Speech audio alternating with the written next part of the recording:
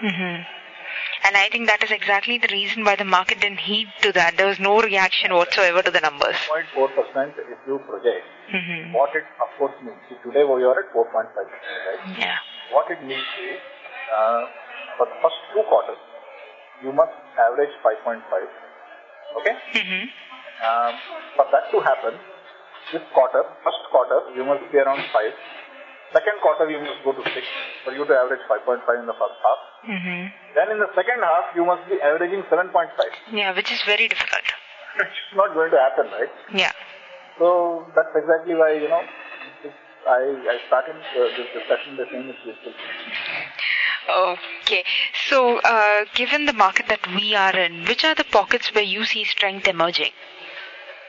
No, it is, I, I don't see any strength emerging. It is strength retention. hmm In the general pocket, see, agriculture, as I said, if monsoon were to be good, it's top of the coin. Then, if monsoon were to be good, then you will see some amount of rural consumption come back. So it will be positive, especially for two-wheelers, then all your, you know, consumer durables, or uh, for that matter, tractors and fertilizers, pesticides, the entire pocket. Okay.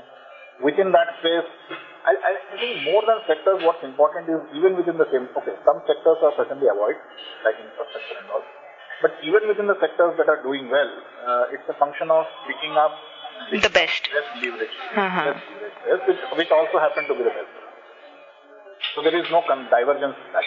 hmm You were listening to P. Phani Sekhar, Fund Manager, PMS Angel Broking, in conversation with smart investors Jinsey Matthew on the GDP growth numbers announced today.